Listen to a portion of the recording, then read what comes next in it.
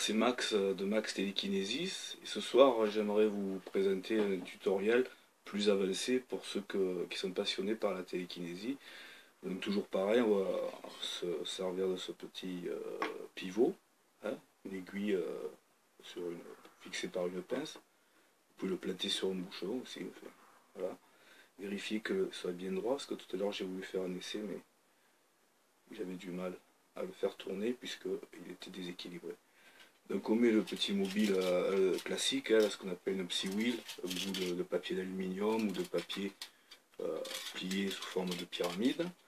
On le dépose dessus, en essayant de bien l'équilibrer, et en, mettant ses mains autour, évidemment. N'importe quel télékinésiste va pouvoir arriver à le faire tourner.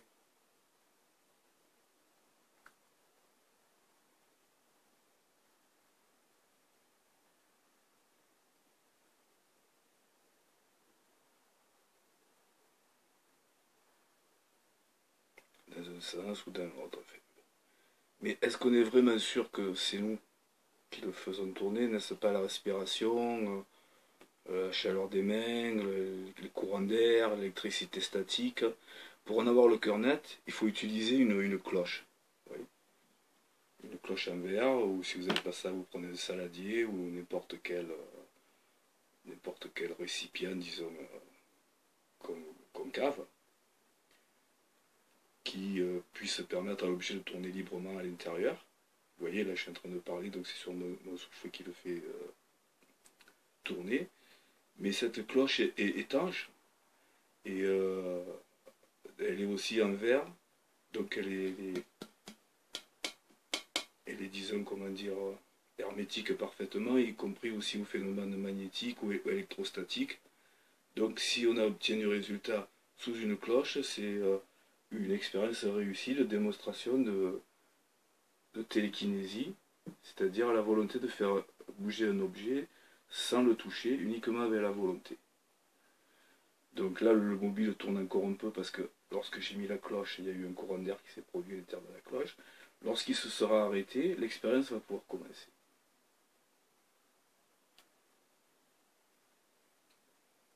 Voilà, ça réagit plus vite que ce que je pensais.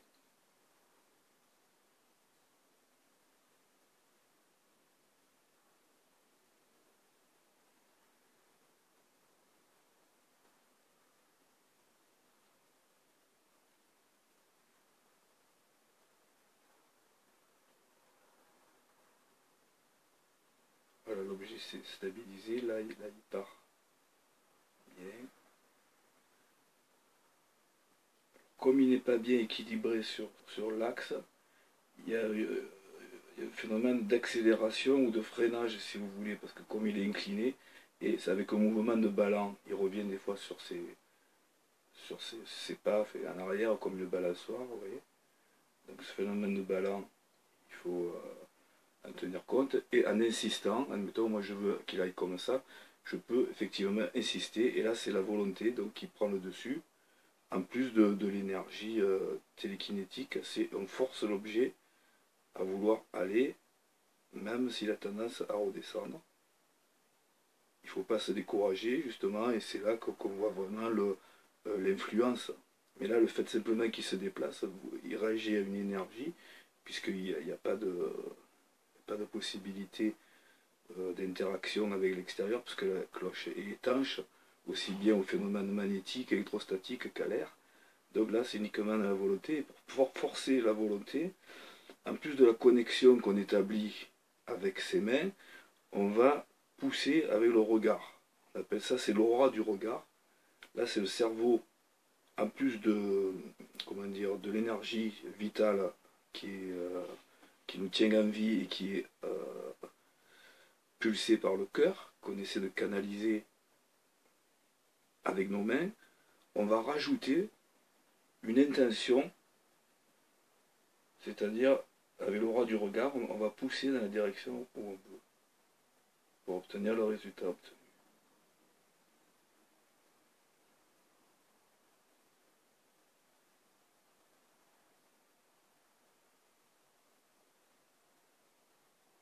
A toujours ce phénomène de balancier, la tendance à revenir en arrière, mais je vais quand même le forcer, si j'y arrive. C'est du direct, évidemment, si ça avait été une vidéo euh, que j'aurais mis dans, euh, soit sur YouTube, soit sur Max Telekinesis, je n'aurais pas mis cette partie qui est un peu hésitante, je n'aurais mis que les, endroits qui, marchent le mieux, évidemment, mais comme c'est du direct, vous voyez, il n'y a pas de tricherie, on voit déjà une, interaction entre le, le télékinésiste et l'objet. Il y a un problème de prise de, contrôle de l'objet pour l'envoyer dans la direction dans laquelle on veut.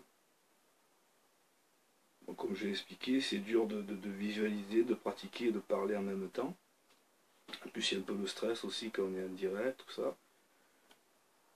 Enfin, voilà, j'espère que vous comprenez à peu près le, truc. alors, on va essayer d'être dans l'autre sens, si vraiment il y a un blocage à ce niveau, parce que des fois, il suffit qu'il y ait un petit pli dans la pyramide qu'on a mal euh, euh, plié correctement. Disons, ce pli va bloquer le, mouvement.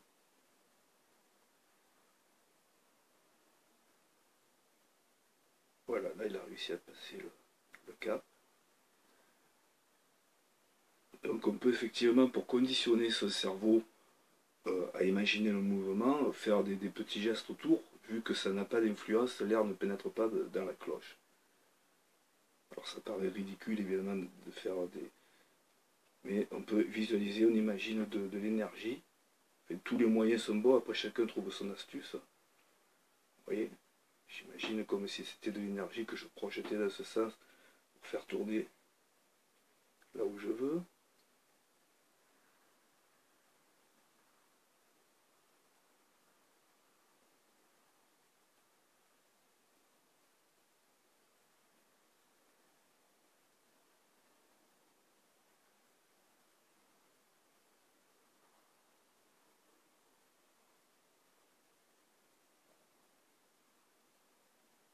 Voilà, le fait de m'être de parler, ça m'a permis de gagner un peu. Voilà, donc si vous voulez, j'espère que cette euh, expérience euh, vous convaincra. Je ne vais pas en refaire d'autres, je pourrais faire plusieurs expériences et, garder celle qui, qui, marcherait le mieux, parce que je suis capable de faire beaucoup mieux, évidemment. Mais bon, c'était voilà, c'est sans tricherie, sans rien, sans montage, une séquence de A à Z pour euh, ceux qui aimeraient aller un peu plus loin dans, dans la télékinésie. Je vous remercie de votre attention.